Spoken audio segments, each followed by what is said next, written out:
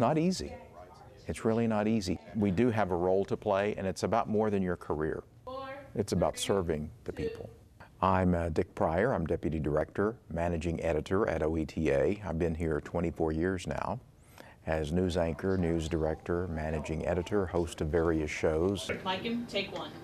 Oklahoma is under intense scrutiny. We reach 3.7 million people, so we look at issues and talk about this, the stories that we think are important to the people of Oklahoma. We as journalists have an obligation to our viewers to tell them more than just, here's what happened today. We're about why it happened, how it happened, and what can we learn from it.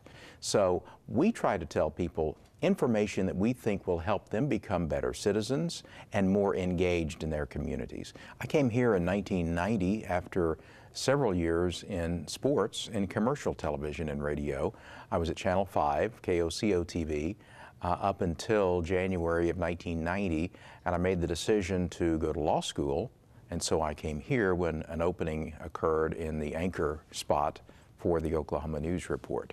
Our biggest struggles are money and staffing. And staffing is because of money. They're going to set it up. Just About 40% of our funding comes from the state of Oklahoma. In the last five years, that funding has been cut 30%. That results in us being able to do less than we used to do 5, 10, 15, 20 years ago, even.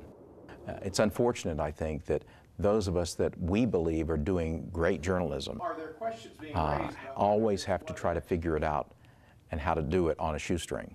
I appreciate the kinds of stories that we can do in public media. I have so many people, and this has been going on for many years, so many people that have come to me and said, I appreciate the kind of news you do.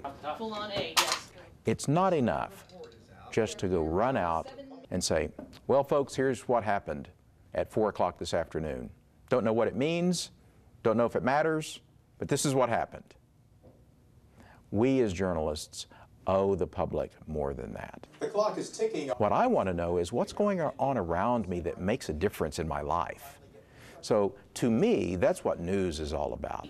It's going somewhere, finding an interesting character, spending the time to get the information and the video and the sound that you need, and then crafting a story that translates, that makes an emotional connection.